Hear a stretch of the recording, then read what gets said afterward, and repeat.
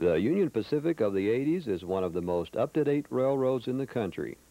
Modern diesel-powered daily roars out of Cheyenne bound for Omaha or the West Coast. The Union Pacific of 30 years ago also boasted modern motive power.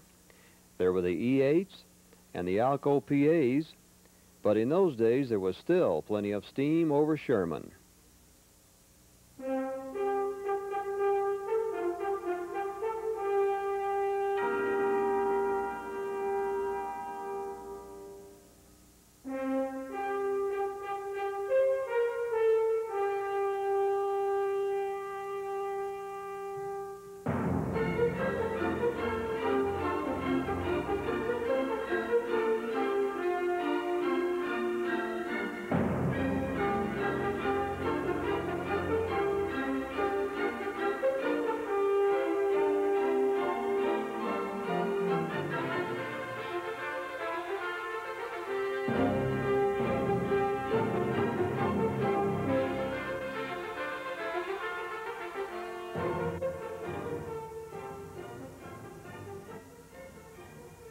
July 1951 through September of 1956, Irv August and friends spent countless days on the Union Pacific Main Line near Cheyenne.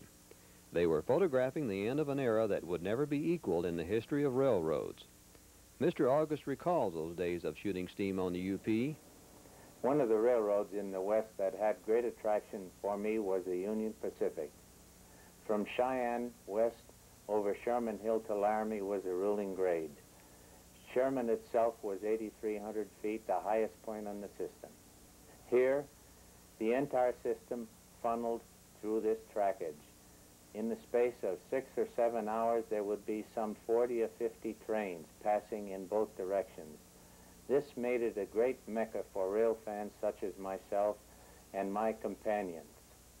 I made many trips to film these great steam locomotives in action.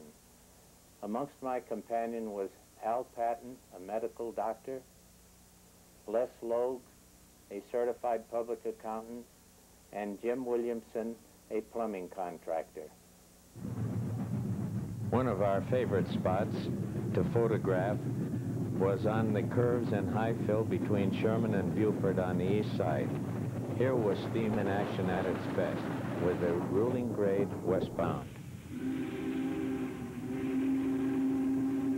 Watching these westbound freights with the tremendous plumes of smoke made me wonder at times whether or not the Union Pacific was actually scattering coal on the countryside instead of burning it.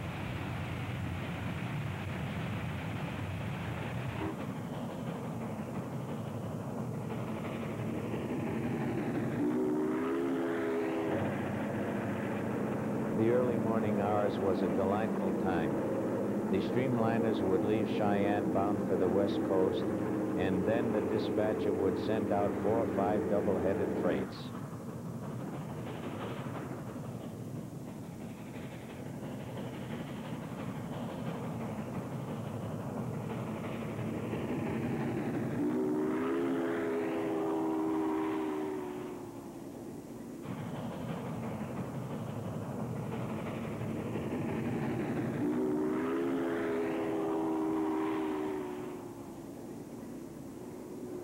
Another sight that would gladden the heart of a dyed-in-the-wool steam fan was the steam locomotives helping the streamliners up the hill.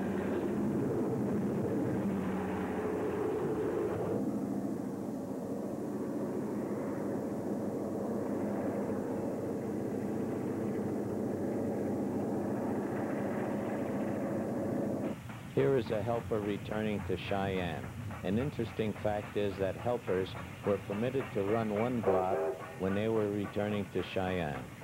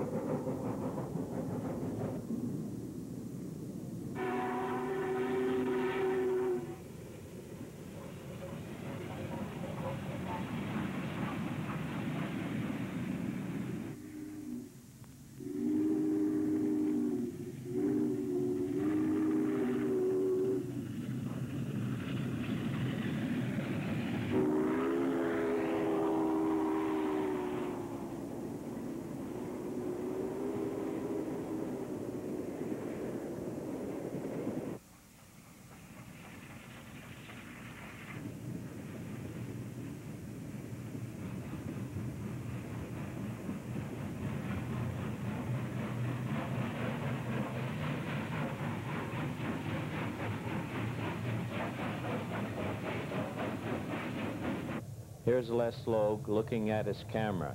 He evidently thought that he had run out of film.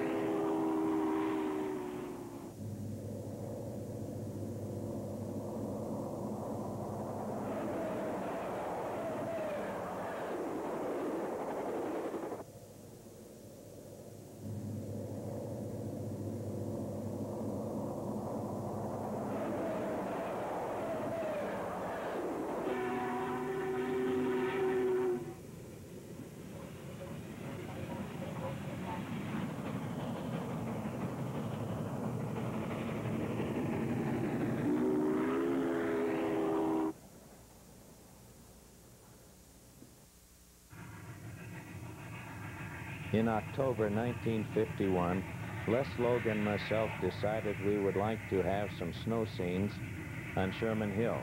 We camped by the track just above Buford, and the next morning it was snowing hard.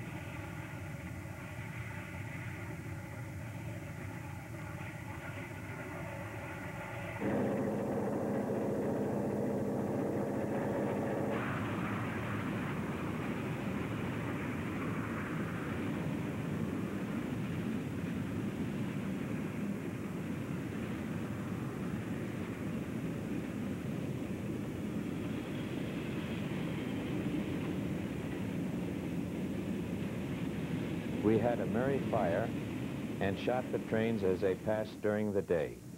Towards evening, we drove to Cheyenne to get a shot of the Denver local passenger train and a scene of a westbound freight passing between the C&S Bridge by Tower A at Cheyenne.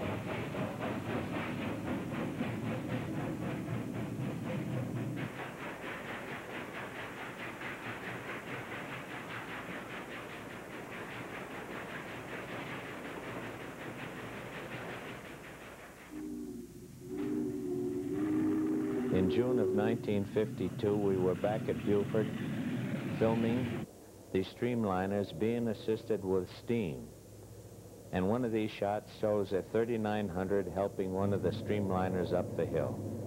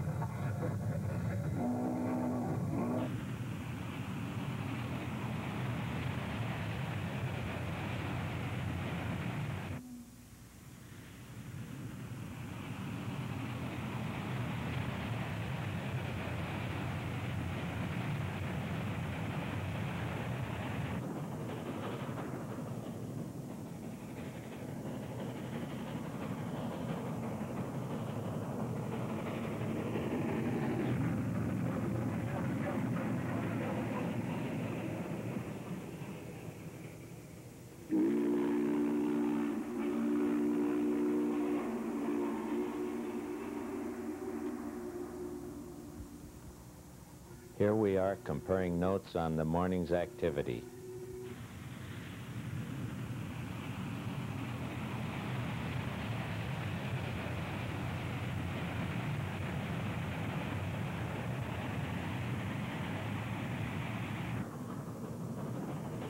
Another delightful spot was just below the summit of Sherman on the east side.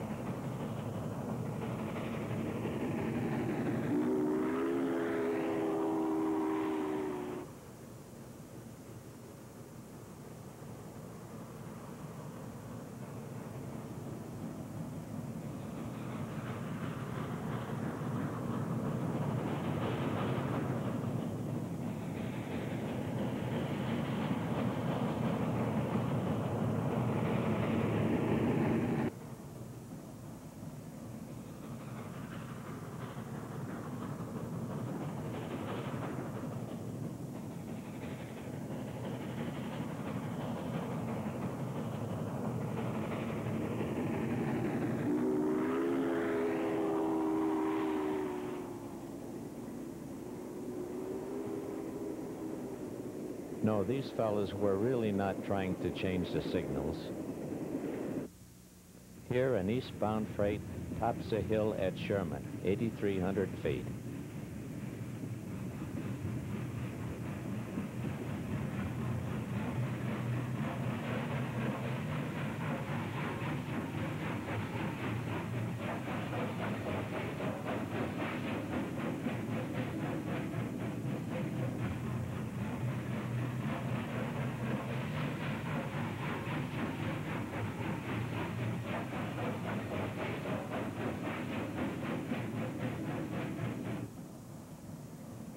Here we are near Buford on the east side watching the parade of steam.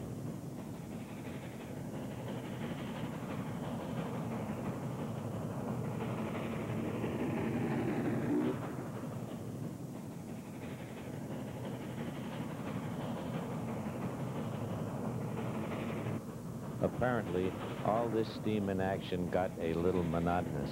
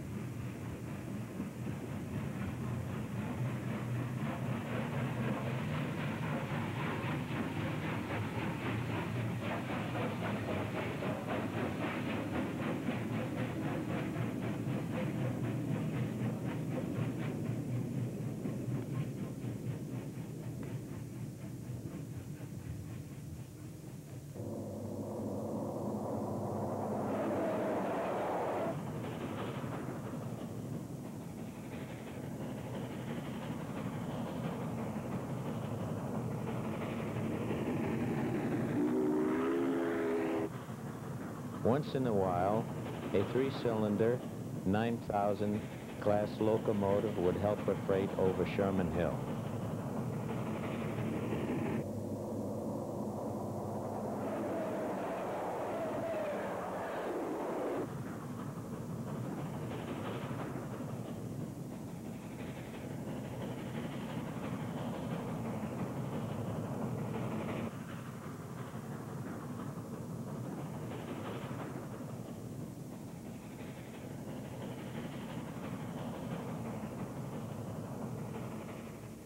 We are once again between Buford and Sherman, filmed late September 1952.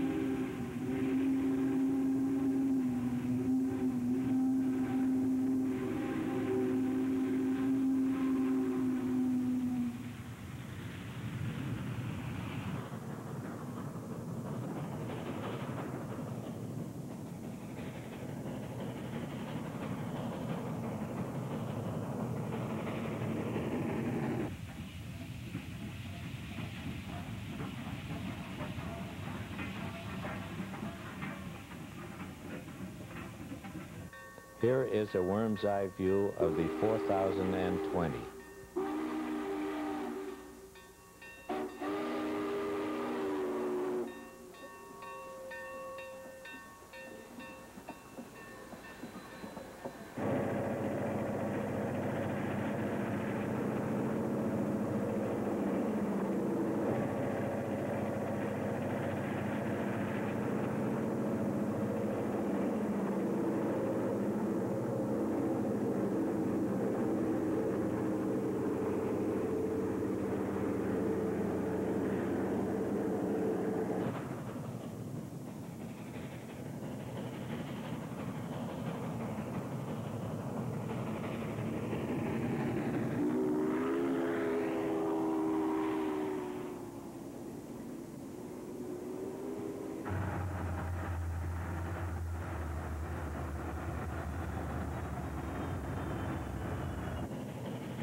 Like the 9000s, occasionally there would be a 7000 Pacific 462 assist up the hill.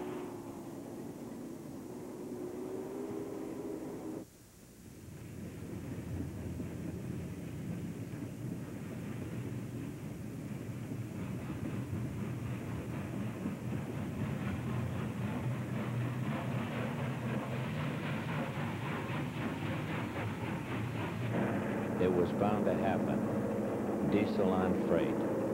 Shades of things to come. Here we have a westbound freight approaching the top of the hill at Sherman.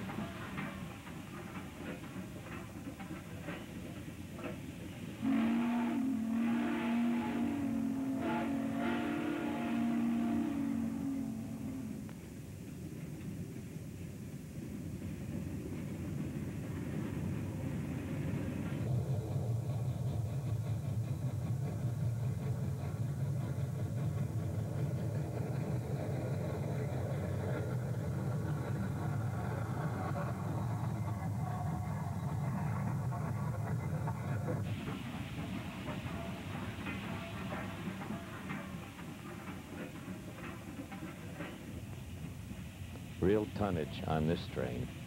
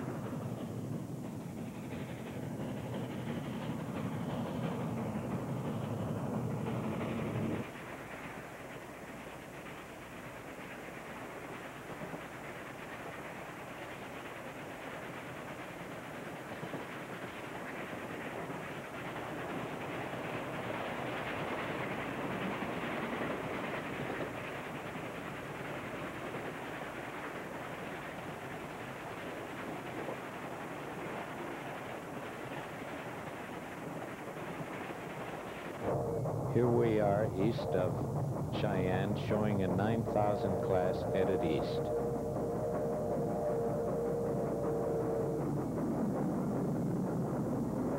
Here is a 9500 class westbound.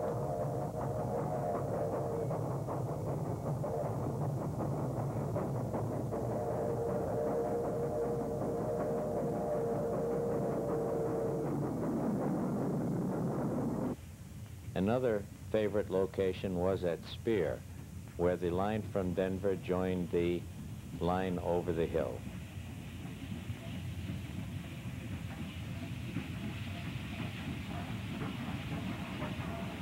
Here we see a freight westbound coming into Speer from the Denver line.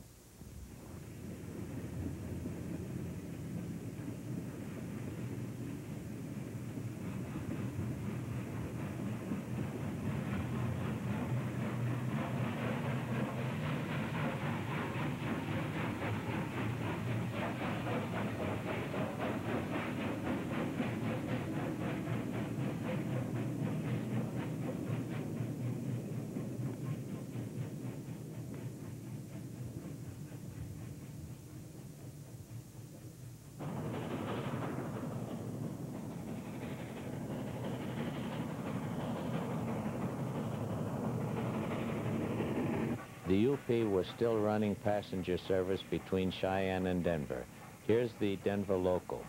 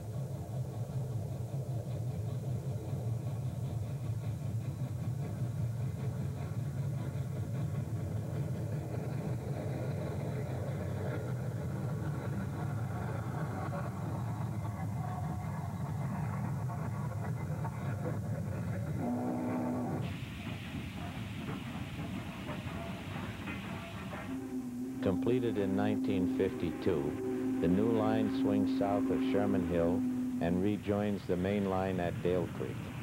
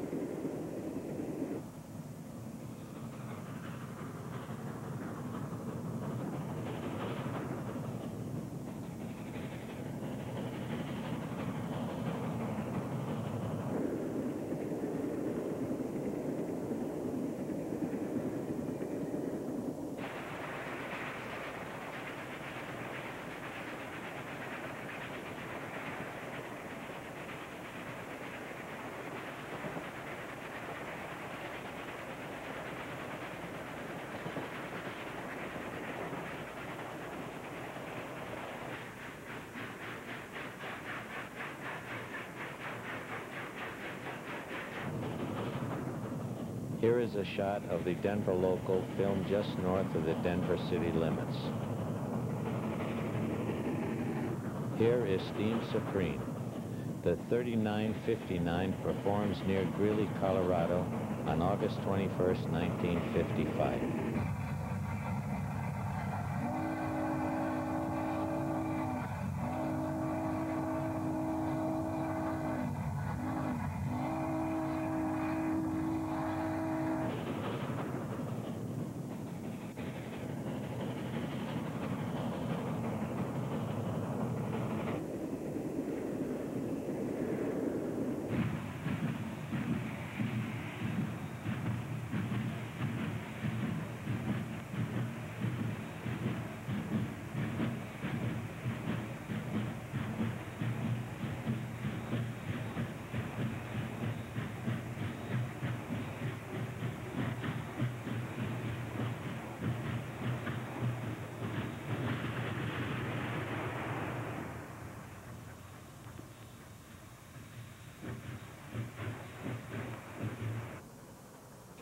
August 20th and 21st, 1955, we spent a lot of time on the new line.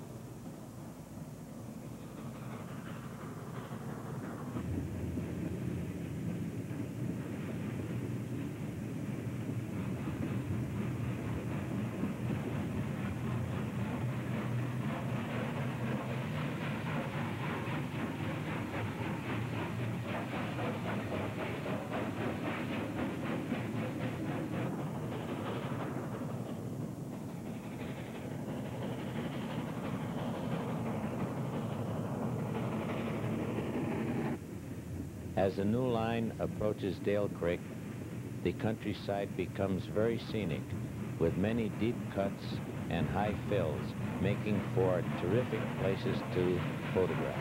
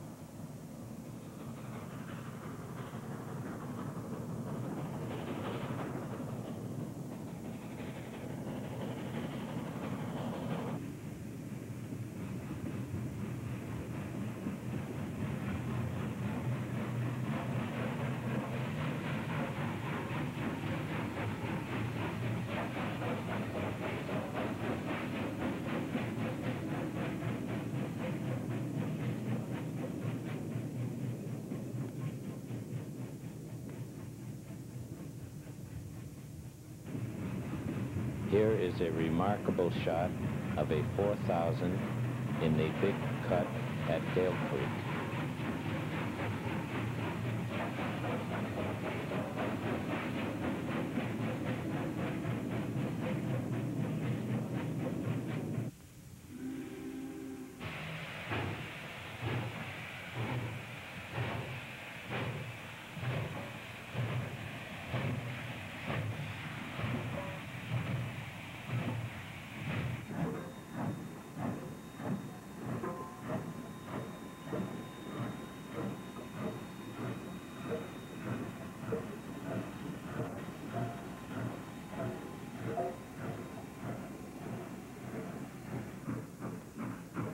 Here is a shot of a westbound freight waiting to get on the main at Dale.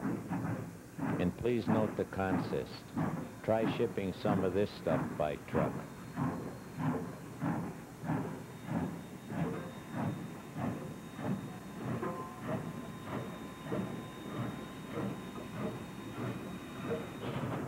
In the late afternoon, we see the Cheyenne local leaving Denver.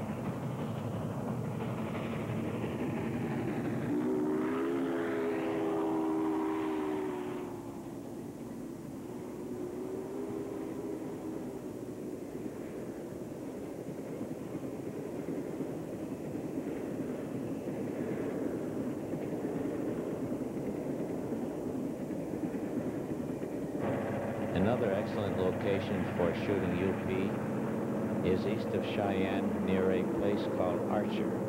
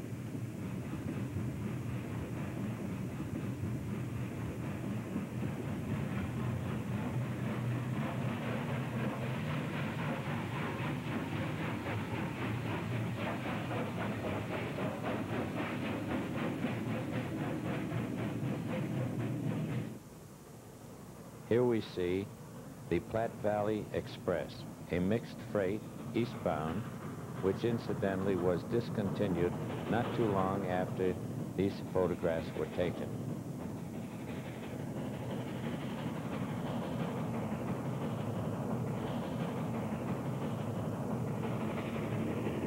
Back in action on Sherman Hill in December 1955. This was a time of the year when the trains were really loaded with extra cars and many trains were run in two sections.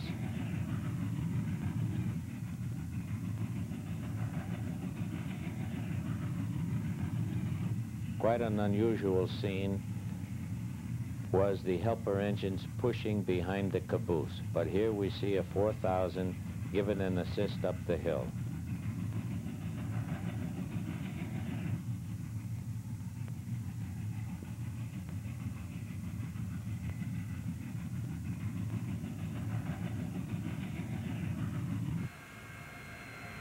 On October 31st, 1954, the Rocky Mountain Railroad Club ran one of its many trips on the UP to the yards and engine house at Cheyenne.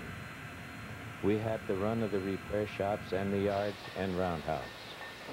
And this film is particularly interesting from the standpoint of showing the activity at the terminal of a big railroad. Now, all steam activity is a thing of the past and the facilities are gone.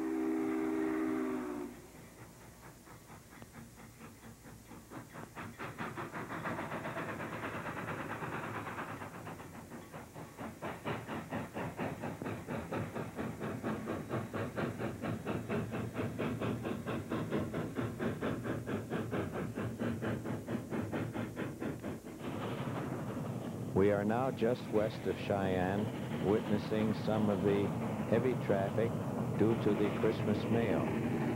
The first shot is a mail extra with 30 cars of mail. The second is first 27, and the third is second 27. These are powered with 800s.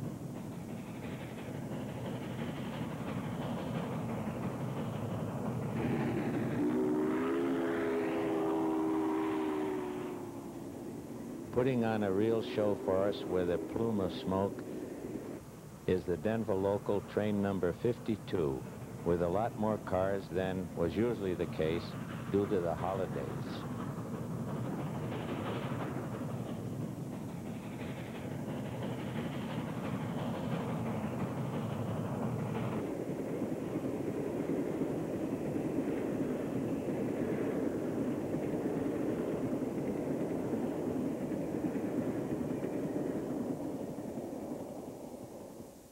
Once again, we're, we are at Tower A at Cheyenne, at the Colorado and Southern Overpass with freight extra west 4018.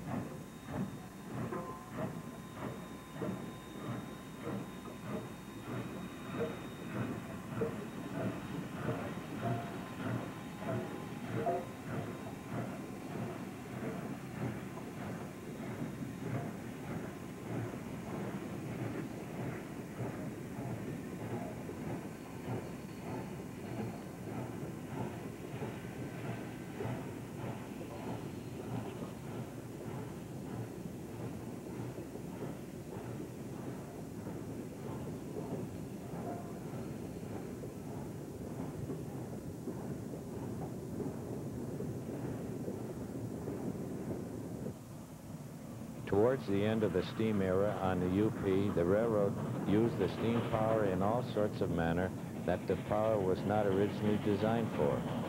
A good example of this was the use of the 800s on freight service. Most of them were on the east of Cheyenne, and the last gasp of the steam was in the fruit and grain rush in the fall of 1958. Here we have scenes taken at Kearney, Nebraska.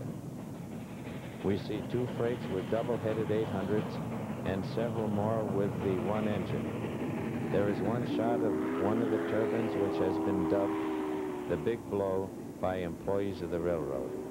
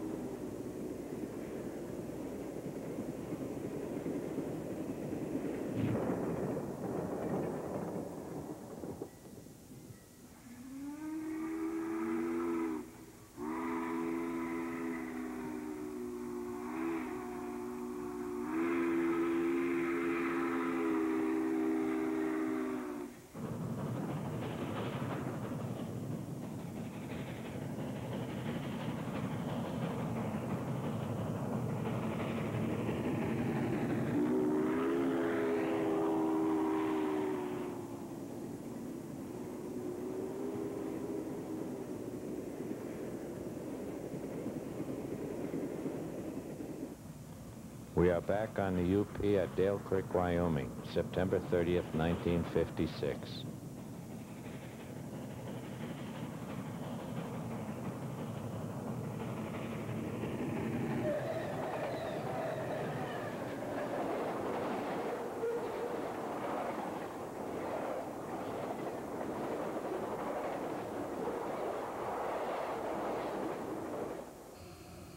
On August 4th, 1956, the Rocky Mountain Railroad Club ran an excursion on the Laramie, North Park, and Western branch of the Union Pacific. We see here an action shot near Albany, Wyoming.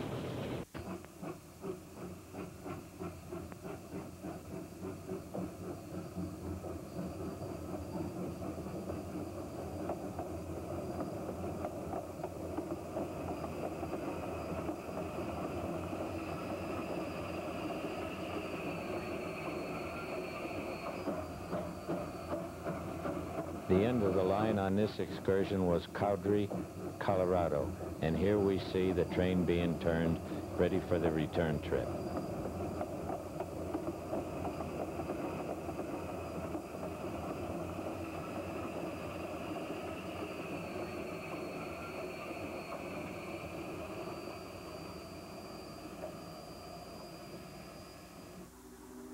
We're back on the Union Pacific at Dale Creek, Wyoming, September 30th, 1956. And here we see the operation of the railroad on both the old line and the new line.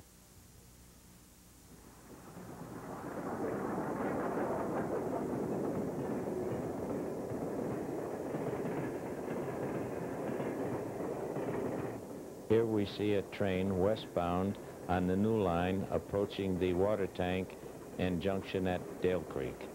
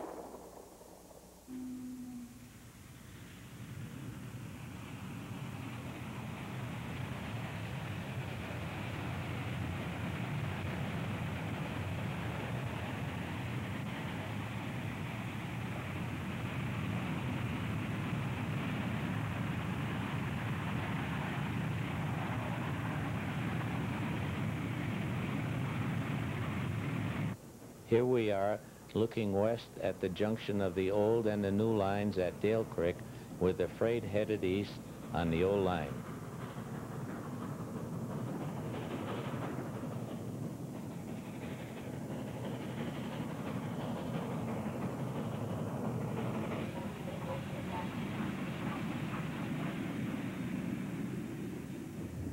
Here's a westbound freight approaching the old line at Dale Creek.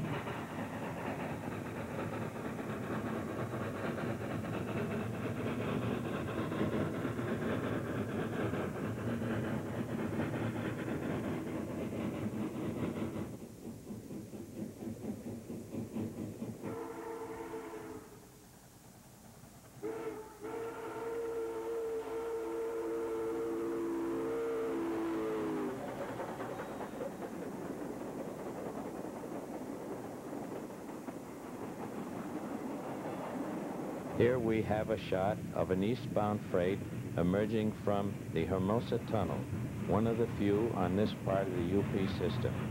Note how the fireman refrains from firing until the engine has emerged from the tunnel.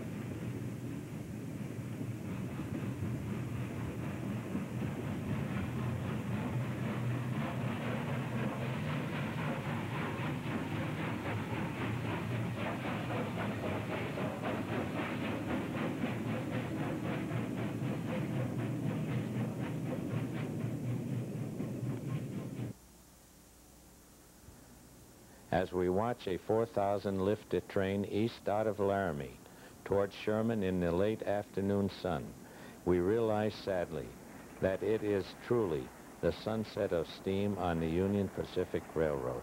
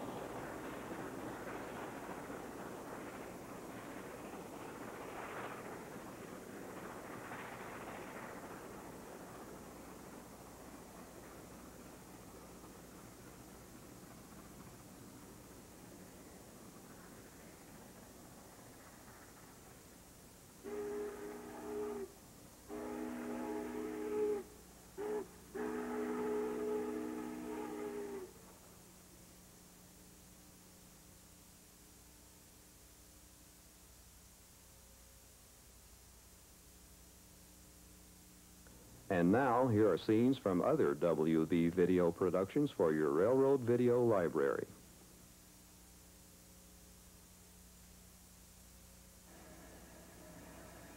As late as the mid-1950s, the Denver and Rio Grande Western was a mixture of standard gauge steam power, first-generation diesels, and narrow gauge engines, some of which were built before the turn of the century. In the program Rio Grande of the Rockies, you'll see 2882s on Tennessee Pass.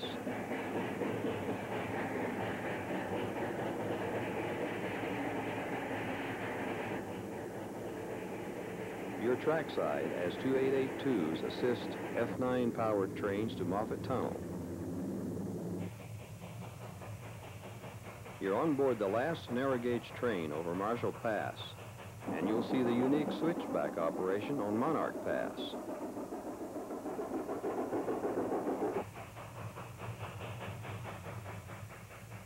In the winter of 1952, you're on board a narrow gauge freight train from Gunnison, Colorado to the mining town of Crested Butte.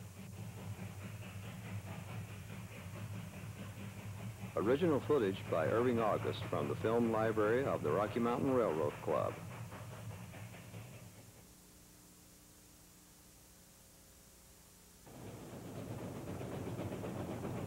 The big war was over, and the railroads had played a significant role in winning that war.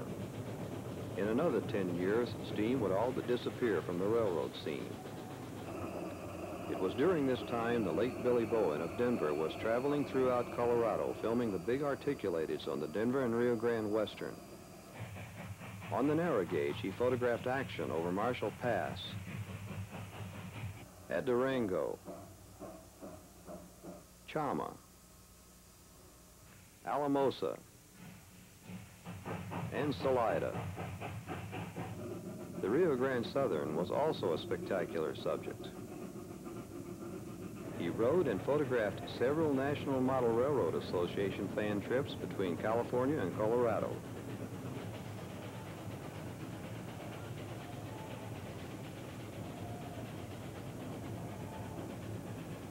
In the program A 40s Memory, this time period comes alive again through the efforts of a man who loved those trains and left us this glimpse of railroading in the 1940s.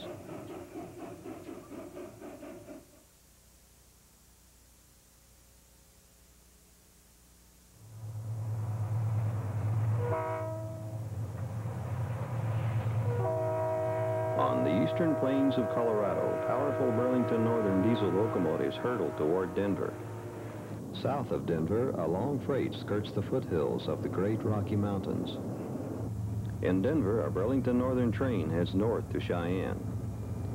We've grown accustomed to the colorful equipment of today's railroading, but there are many of us who remember when these yards were filled with shiny black locomotives brought to life by steam and smoke. When the steam whistle blew, Dave Gross, a Denver teenager in the 50s, would grab his trusty movie camera and head for these yards. He had accepted the responsibility of preserving on film the end of the line for steam on the Colorado and Southern Division of the Burlington Railroad.